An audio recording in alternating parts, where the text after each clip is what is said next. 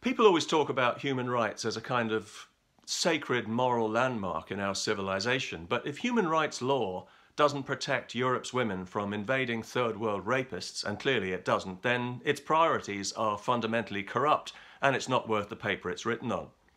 Admittedly, it's not completely useless, as more often than not it does protect the invading third world rapists from justice, and I know that's important to some people. It's very important to the Council of Europe, which oversees the European Court of Human Rights, to flood Europe illegally with third world fighting age men. And we know this because recently a spokesman said that migrant men who are posing as children should not be tested to determine their age, as they might find it frightening and unsettling. Yeah, if only. Not nearly as frightening and unsettling as it'll be for the next child who'd be raped in Europe by a 14-year-old migrant with 30-year-old teeth who then can't be deported because he's got human rights. The only right that a foreign rapist should have in Europe is the right to step on a plane and be banished from Europe for life. If they knew that would happen, it might be an incentive for some of them to behave like civilized people and not like rutting animals. The original point of human rights was to prevent inhumane treatment, but it's been corrupted and stretched beyond all common sense to encompass areas where it has no business. The right to a family life? Yeah, right. What's next? The right to an emotional safe space with crayons and a cuddly toy? And if human rights are really so sacred, then what about our human rights here in Europe when it comes to freedom of speech, the most basic human right there is? Even though free speech is supposedly protected under both the Universal Declaration of Human Rights and the European Convention on Human Rights, it's non-existent in Europe, where you can literally be arrested for expressing the wrong opinion. We're so very keen to give human rights to every illegal criminal scumbag who arrives here, but not to our own people in case they say something to embarrass the criminal politicians who are flooding Europe illegally with violent third world rapists. When a European arrest warrant gets you arrested and extradited to Romania or Greece, where you're thrown in prison in disgusting conditions for months on end without trial, there'll be no human rights for you. No, the human rights will be there for the Afghan or Somali or North African rapist who's in the country illegally in the first place, and for the activist lawyer who's doing very nicely out of keeping him here and winning him financial compensation. If we send him back to his own country, he might have to pay for his crime, and to a human rights judge, that's out of the question.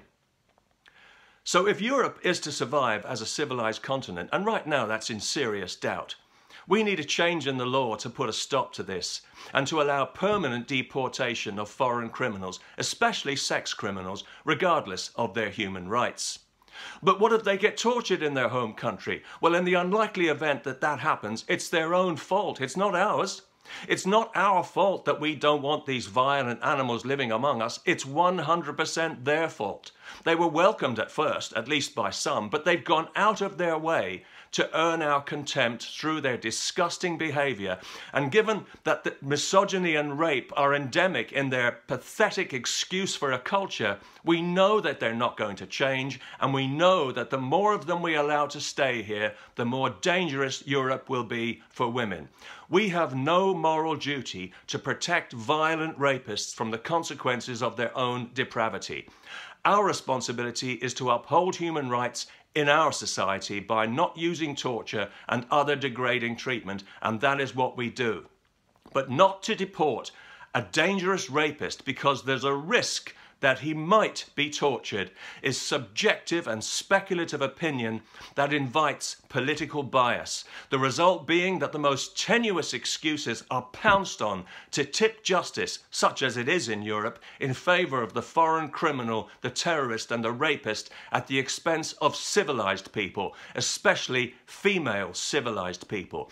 How many times do we have to hear about some Somali or Afghan rapist who wasn't deported when he should have been and who who went on to rape again.